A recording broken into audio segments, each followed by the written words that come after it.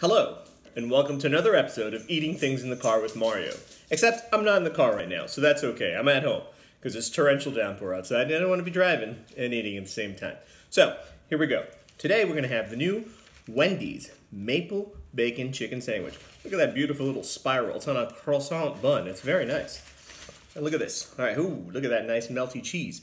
We got nice melty cheese. We got bacon. We got like a maple syrup glaze right there. Very exciting. All right, here we go.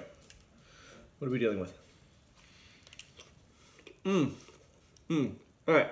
So, first of all, you got that chicken and waffle flavor. Nice. That's nice. That's nice. You got that thick cut applewood bacon. Very nice as well.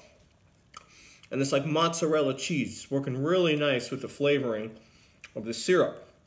The syrup glaze is incredible. I'd have that straight on some waffles right there. You see that? That's a really nice syrupy glaze. Look at that. Look at that thick cut bacon. That is a nice sandwich. I gotta say, kudos, Wendy's. Don't make this a limited time thing. Let's make this a permanent menu item, shall we? Fantastic. Really. Mmm. Let's go again. Mmm. Nice tender chicken. I gotta say, this is one Wendy's best. Hmm. I'm impressed. All right. Listen, folks. The new Wendy's Maple. I'm not gonna let that go. The new Wendy's Maple Bacon Chicken Sandwich. This is something else. So, highly recommended. Highly recommended. Man. By the way, sorry, I didn't bring this up. The texture of the bread. It's not their normal bread. It's like a croissant bread. Really nice. This is something else.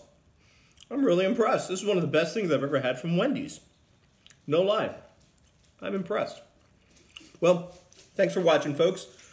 Don't forget to go to Wendy's. Check this out. Thanks.